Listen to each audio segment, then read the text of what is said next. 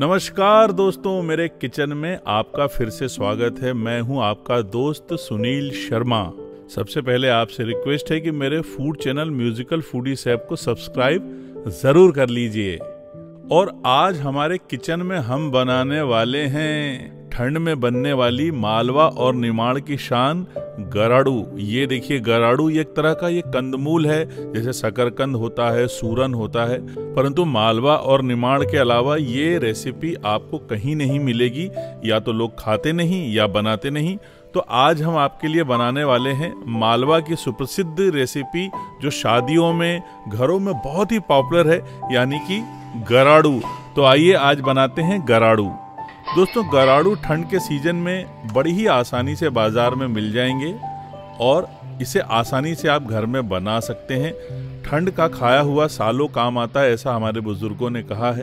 तो हम यहाँ पे लगभग एक किलो का ये गराड़ू ले रहे हैं और अब हम इसे धोकर इस तरह से देखिए काट लेंगे टुकड़ों में और इसे कुकर में डालकर दो सीटी आने तक पका लेंगे। ये देखिए, हमने इस तरह से इसको काट लिया है और अब हम इसे डाल देंगे कुकर में और इसमें जाएगा पानी, नमक और साथ में हल्दी ताकि इसमें अच्छा स्वाद आ जाए। तो आइए दोस्तों, कुकर को करते हैं बंद और दो सीटी आने का करते हैं इंतज़ार। तो देखिए, दो सीटी हमारी आ चुकी है और हम पूरा प्रेशर निकल जाने के बाद कुकर को खोलेंगे और जो भी इसमें पानी है, उसे पूरा निकाल देंगे, उसे छान लेंगे। ये देखिए, हमने पूरा पानी ड्रेन आउट कर लिया है और हमारे गराड़ू अब इस फॉर्म में आ चुके हैं। दोस्तों, हमारे जो गराड़ू हैं, ये अब आलू जैसे हो गए हैं। तो जैसे हम आलू को छीलते हैं, वैसे ही चाकू के माध्यम से गराड़ू के ऊपर वाला छिलका ये निकाल देंगे, देखिए, इस तरह से। और ऐसे जितने भी गराड़ू के पीसेस हैं, उसके सारे छिलके निकाल देंगे। अब हमारा गराड़ू इस रूप में आ चुका है तो गैस पे चढ़ाएँगे कढ़ाई और डालेंगे तेल।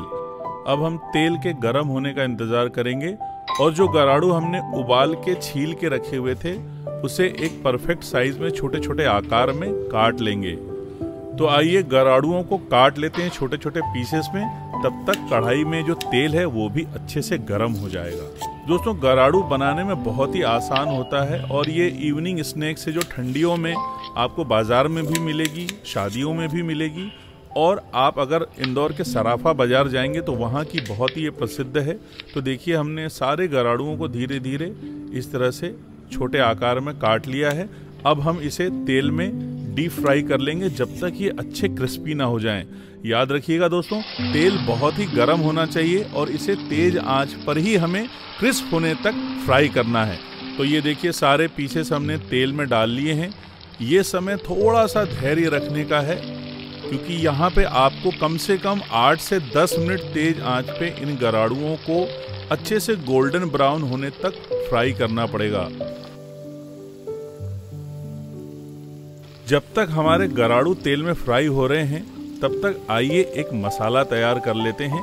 तो ये हमने एक कटोरी ले ली है और इस कटोरी में सबसे पहले डालेंगे एक बड़ा चम्मच जीरावन का और साथ में इसके डालेंगे एक बड़ा चम्मच चाट मसाला। दोस्तों, गराड़ू का अपना कोई टेस्ट नहीं होता है। उसे चटपटा और मसालेदार बनाने के लिए हम ये जो मसाला तैयार कर रहे हैं, ये उस पर डालेंगे। तो ये लीजिए हमने ये जीरावन और चाट मसाला मिला लिया है और इसमें अब मिक्स करेंगे नमक और साथ में लाल मिर्च। तो ये देखिए हमने लाल मिर्च भी इसमें डाल दी है तो हमारा मसाला बन के तैयार हो चुका है। अब आइए इसे मिक्स कर लेते हैं और देखते हैं हमारे गराड़ू कहाँ तक फ्राई हुए हैं।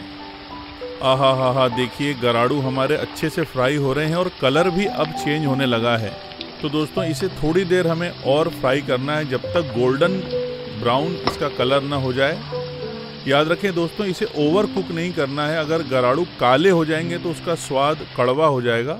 कई बार शादियों में हम देखते हैं कि जल्दीबाजी में सर्व करने के लिए उसका कलर थोड़ा सा ख़राब हो जाता है तो खाने में उतना मज़ा नहीं आता, क्योंकि हम ये घर पे अपने लिए बना रहे हैं। तो बहुत ही धैर्य से इसे आराम से फ्राई करें और इस गराड़ू का आनंद लें। तो देखिए, हमारे गराड़ू लगभग बन के तैयार हैं। ये देखिए तो दोस्तों गर्मा गर्म क्रिस्पी हमारे गराड़ू बन के तैयार हैं। तो आइए अब इसे डिस आउट कर लेते हैं।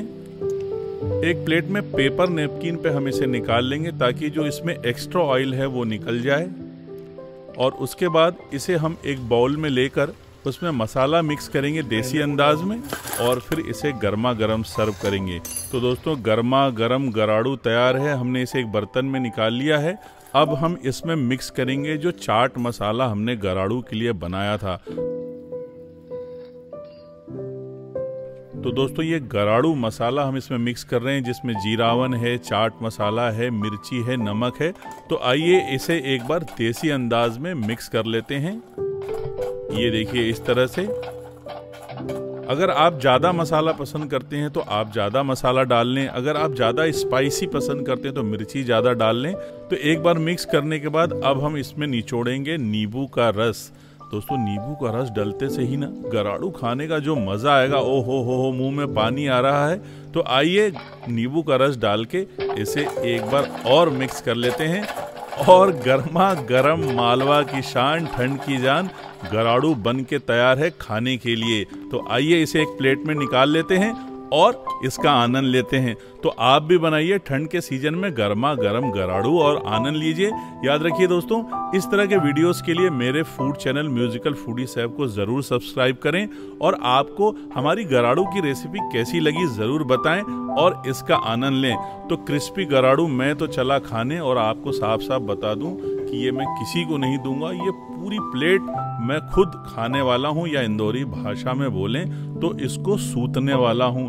तो दोस्तों, फिर मिलेंगे किसी और नई रेसिपी के साथ। तब तक आनंद लेते रहिए, अपना ध्यान रखिए, और मेरे फ़ूड चैनल म्यूजिकल फूडी सैप को सब्सक्राइब करना ना भूलें। मैं सुनील शर्मा आपसे इजाज़त लेता हूँ। धन्यवाद।